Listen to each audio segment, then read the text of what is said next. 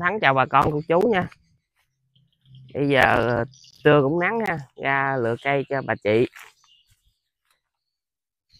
Để gửi đi Sài Gòn, Chị lấy cây này. Tức là chị này à, nhắn à, qua fanpage của em, chứ không phải là vua Facebook cá nhân nữa. Chị mới hỏi mua ở ruby, cây lớn. Ban đầu thì em đâu biết chị ở đâu, tính để thứ bảy gửi nhưng mà cuối cùng cái chị nói, thôi đưa số tài khoản chị chuyển cho. Chuyển xong mới biết là chị ở bên Mỹ, mua cho người thân ở Việt Nam. Thì à, chị này tên à, đẹp nha, chị Trang Lê. Trang Lê này à, dễ thương chứ không phải là cái chị Trang Lê thường nói gì Việt Nam chúng ta. giờ em sẽ gói gửi đi cho chị. Quay clip kỷ niệm luôn. Thì à, mấy ngày hôm nay á, khi mà em lên mấy clip gửi cây nước ngoài á, bà con chúng ta ở các nước như là Canada có, Nhật có, Hàn có, Trung Quốc cũng có. Thì hỏi em có gửi đi được không?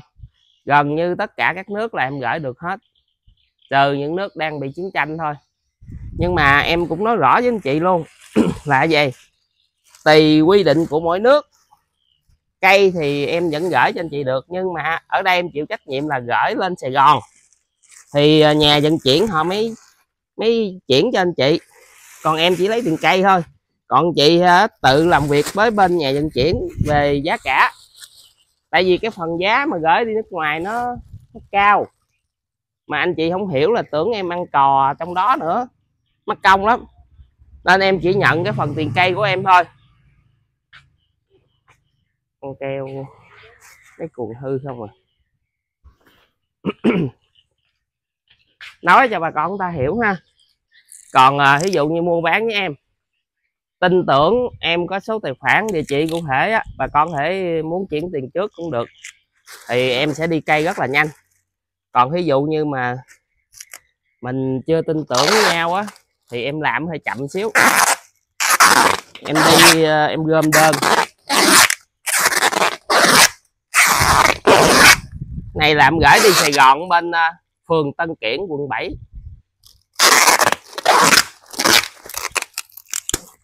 dễ à bây giờ em đóng cây này, xong cái em chạy ra bến xe em gửi lên Sài Gòn. Thì à, ở Sài Gòn đó, em sẽ cho một anh xe ôm nữa, chở trực tiếp cây này giao tới nhà chị. Đây tới chiều là nhận được rồi, rất là nhanh ha. Thì em cũng báo anh chị rất là rõ à, cần cây nhanh thì làm dịch vụ cao thì thì, thì mình thêm phí.